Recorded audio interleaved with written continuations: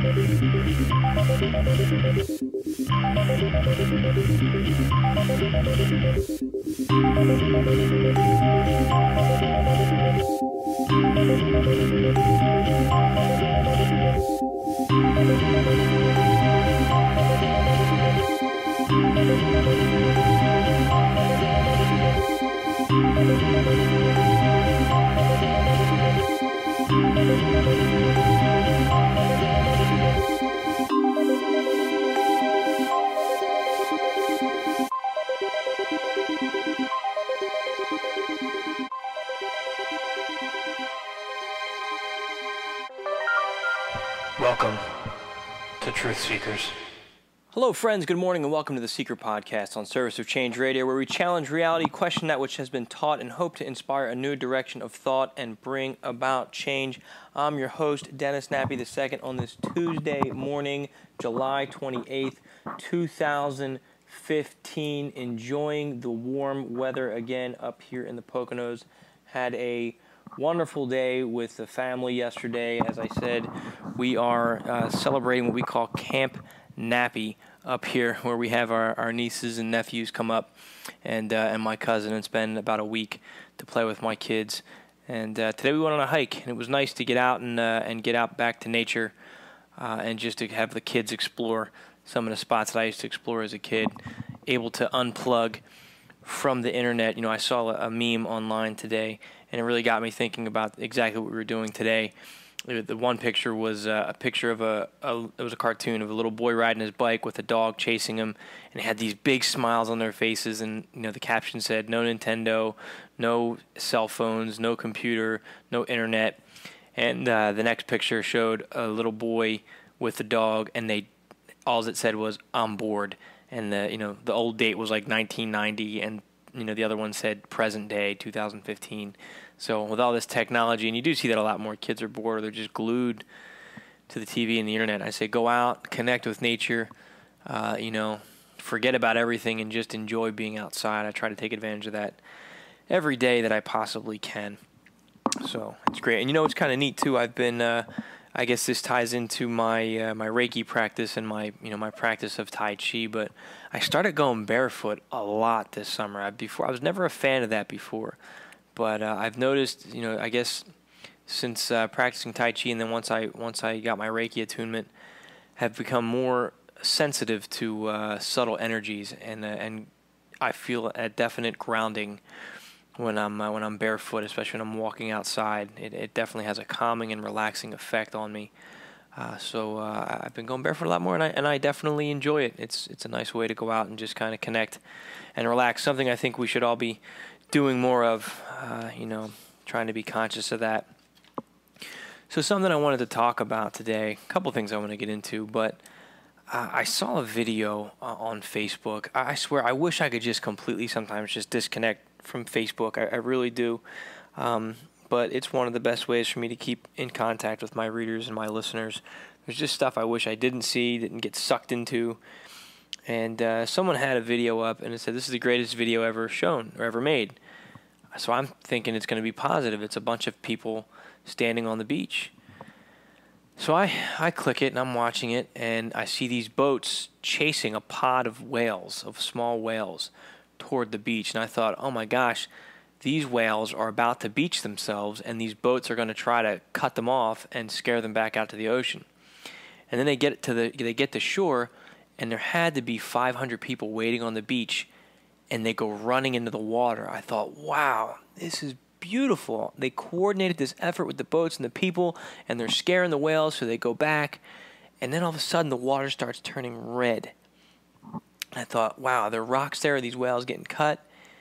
And then as they film it, these people were slaughtering the whales with sticks and knives. And as they're panning through this crowd of them murdering these creatures, there's young children, like 10 years old, jumping on the whales' backs, smiling as they're I'm not even going to get even more graphic, but it was it really bothered me. Like it really, really, really upset me.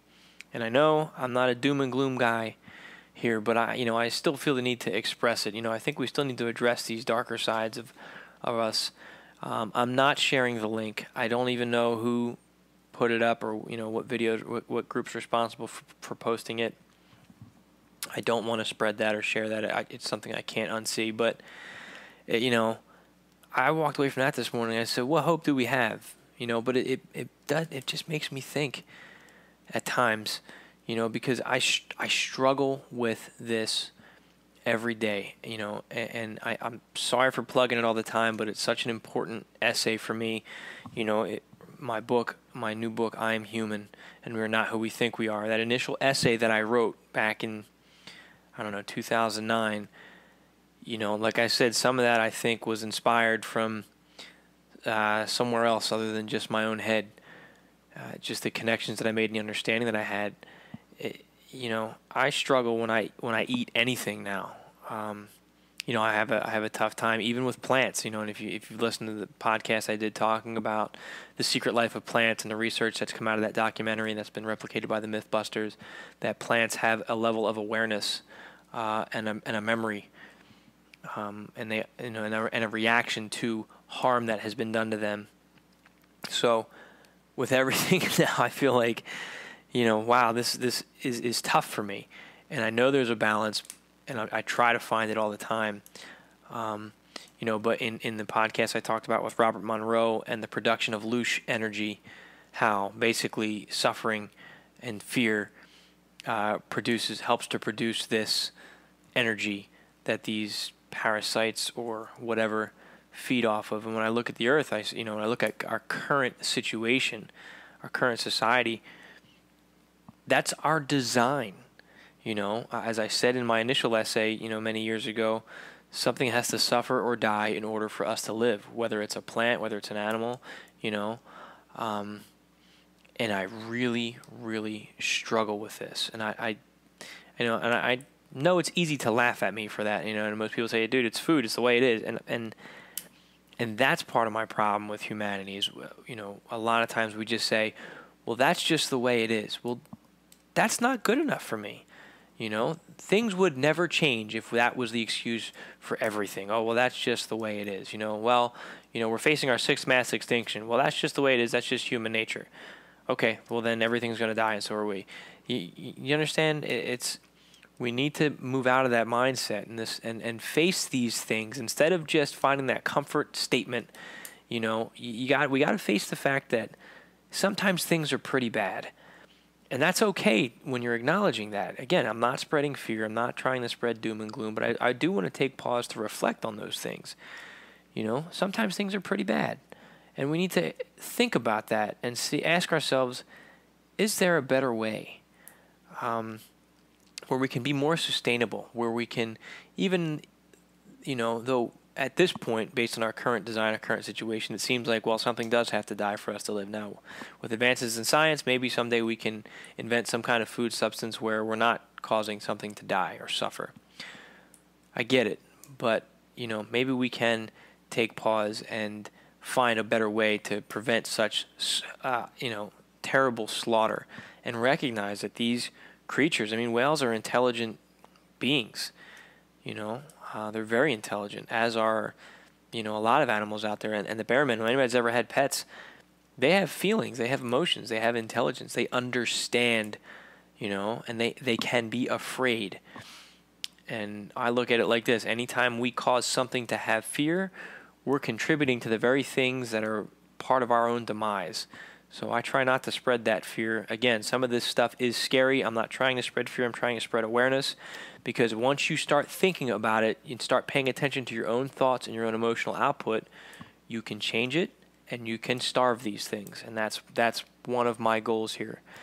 Um, or at least to get them to stop feasting off of us. But going back to my original thought, you know, when you look at those aspects of humanity, you know, I sometimes wonder what hope do we have? And I guess the whole point that I was trying to make was, you know, uh, if you have an infestation of ants in your home, what do you do? Well, you find some way to kill them. You either, you know, find a way to destroy the nest or you start putting traps down to get rid of them in your home. Why? Because well, they're going to eat your food. They're going to, you know, chew holes in your in your wall. They're going to get all over your stuff and it's something that we don't want. It's a violation. It's, it's an invasion. But when I'm faced with those types of situations in my life where well, I have a quote unquote pest that I need to get rid of. You know, I always try to find a humane way to do it, but I always feel guilty about it because I think to myself, well, look at what humanity's doing to the planet, and what if there is something bigger than us, which I believe that there is. You know, do I do I want them to make that blanket decision based on all human beings? I mean, my children are, are beautiful people, you know, but if they were ants and they were living in an ant colony and their family was going out foraging for food, and a big bad human came up and said, "I don't want you in my house," they're not going to care. You know, so what makes us different? How can we, you know, make that change and make ourselves known that hey, we are trying to live better, trying to be peaceful, trying to be in balance and harmony. And I know some of it sounds new agey or, or you know, like we're hugging trees, but in some aspects we are, and I'm not ashamed of it. So I don't know if I sound like I'm whining on this podcast or not, but this is this really affected me today uh, or yesterday when I watched that. So something, uh, just something to think about. I'd love to hear your thoughts on it too. So uh, hit me up on the on the Truth Seikers Facebook page, facebook.com slash Truth Seikers, T R U T H S E I K E R S. Or you can always hit me up on the Service of Change Facebook page or at serviceofchange.com. My email's down there as well. I'd love to hear from you. Love to hear your feedback. Uh, speaking of which, uh, you know, I got to give a, a, shout out and a big thank you to my friend uh, Ray Davis a very talented author. He's the author of Anunnaki Awakening, and uh, you know, still reading it. Ray, I'm a slow reader, but you know, um, enjoying the book.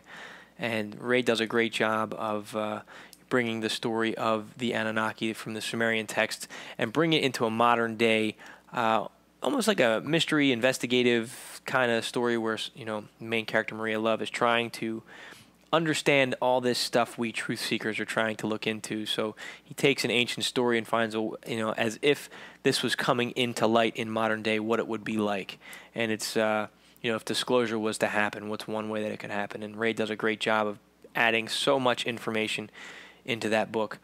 Um, but I want to thank him for, uh, I guess, the words of encouragement he offered me today, and I'd like to share some of that with all of you, Ray. I hope that you don't mind, my friend. But, you know, yesterday I talked about just sometimes looking around at the world and saying, why do I try to go down this road and understand this stuff and, and spend this time doing this? You know, it's a lonely path. And it's so easy to look at the world and say, yeah, right, I'm nuts. This is all in my head. None of this is true. Um, you know, and he offered me some encouraging, some encouraging words, and he sent me a link um, about. I think it was about the the I'm trying to look on my Facebook page now. Um, forgive me. The refusal of the call. And uh, Ray, I'm going to quote you here for a minute, but he says, The allure of the ordinary world and an attempt to create doubt in the hero about his right to be the one to pursue his mission to pierce the veil. And he sent me a link called Refusal of the Call from changingminds.org. And it resonated with me. Uh, you know, and the description says, uh, the hero, hearing the call to adventure, initially may hesitate, reluctant to leave the comfort and task of their everyday existence. Perhaps they are afraid of what might happen to them. Perhaps they do not see the call as important, being more engrossed in their current activity. Perhaps they have responsibilities and do not want to leave their family. The refusal may well be prompted by an individual, such as with Propp's interdiction, and there's links to that as well. Uh, and they give examples. Sherlock Holmes often refuses calls initially, seeing them as, as beneath his intellect until some fascinating detail awakens his interest. And in Star Wars, Luke's Uncle Owen reminds him of his responsibilities at home. You know, so it's saying that the hero often uh, tries to find ways to get out of it. You know, and, and I, I don't, I think that's a, a humbling thing. You know, uh, the hero doesn't see himself as as a hero. And I like to extend Ray's, uh, you know, kind words and advice to all of you out there that are listening to this podcast. You know, um, stay the course. It can be hard, it can be lonely, it can be dark, but it is of the utmost importance. Uh, we all have our small piece to bring to this to find more understanding. We know that there's something more, that there's something important. It's a burning desire within us to continue our search, to find that level of understanding. What is the truth? What is reality? What is going on? And how do I fit into it?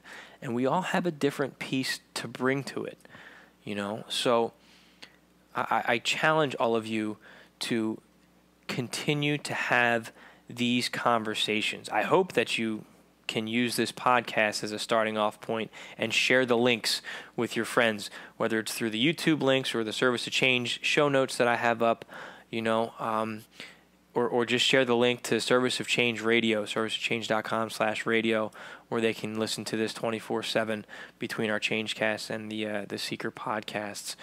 Um, but let's make these let's make these discussions more public. You know, it was hard for me coming out of the closet. I still have a little bit difficulty doing it, in all honesty, because I, I still expect people to either ignore it or, you know, try to throw some uh, some criticism my way. But I, in all honesty, I haven't received any negative criticism. I've received constructive criticism. I've been involved in debates with people, which has been healthy for all parties involved. But I haven't I haven't been picked on or bullied in the way that I really expected to be. And I, I think that's the fear. They don't want us to to go out there and do that. You know, we need to make these conversations common where we don't have to give the the disclaimer before we say it. You know, oh now I'm going to talk about something weird, or I usually say, all right, I'm about to go off the deep end to brace people for it. I think they should be common because once it becomes a more commonly accepted discussion where people aren't afraid to talk about it, people won't be afraid to invest money into the research that is needed to uh, to continue this journey. So Ray, you inspired me today, uh, and I hope that your you know your insight and wisdom can inspire those of those of us truth seekers that are out there trying to find answers. Don't give up. Let's network. Let's stay together. You know, let me know that you, what you're doing. Uh, maybe I can feature it on the show. Maybe I can feature it on the website. You know, let's let's have a voice and let's make this a common discussion. So that's all the time uh, that I have right now. But I'd like to thank you for taking the time to listen uh, you know, and support the show. Thank you very much. And again, thank you to my friend Ray for uh, for helping me out today. Check out his book, Anunnaki Awakening. You can see the links on the Truth Seikers page. You can see it at servicechange.com. Look for his, his change cast on there as well. Uh, and you can find his book on Amazon. Definitely well worth the investment to read his book. A lot of good uh, discussion points in there. So I'm Dennis Nappy the second. This is the Seiker Podcast on Service of Change Radio, where small changes among the masses can have a massive impact around the world. I encourage you to be the change Never stop questioning and keep an open mind. Thank you.